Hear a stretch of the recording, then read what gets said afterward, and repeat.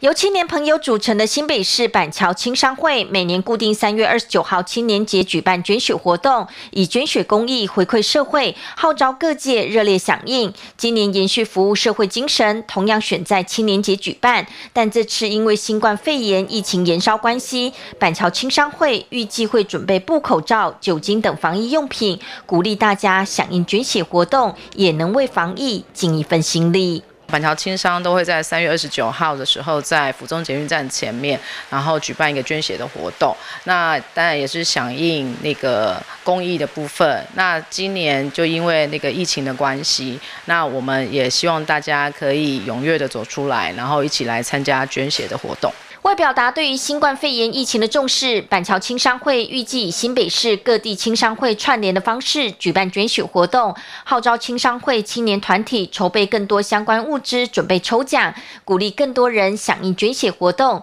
用一己之力参与社会公益。募集到的物资啊，其实都是由各个分会的会长，然后或是呃产业里面去提供出来的。那我们这一次三二九的部分呢，我们在新北市有五个地方做串联。那我们当天会有五个地方去做捐血，那只要在这五个地方捐血，我们都一样都会有送这些东西。板桥青商会表示，三月二十九号青年节热血公益嘉年华，除了防疫会用到的布口罩和酒精之外，还有由各地青商会及会友们所提供的相关纪念品，号召大家在防疫期间仍不忘捐血助人，协助更多医疗上需要帮助的患者。